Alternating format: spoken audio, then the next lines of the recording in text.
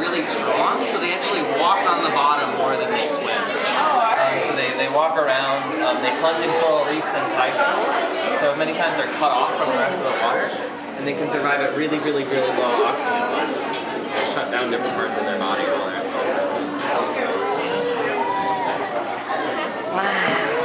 like yellow right Oh, there. look at them.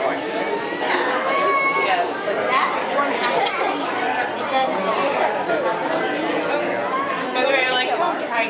not to get that like a nut. I'm just like trying. I know. Okay. Look at that. Isn't that cool?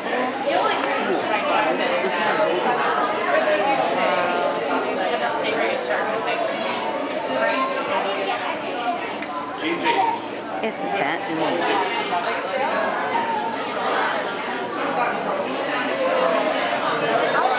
They still take the sand. It can get in their eyes and their gills. Um, it irritates them a little bit. Upside down. Hooray. You must have an itch. You don't want to touch it. it's tiny little mouth.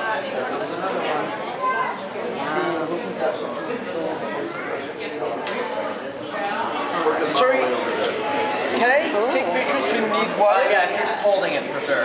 Okay. We just don't want the, the long poles. Okay.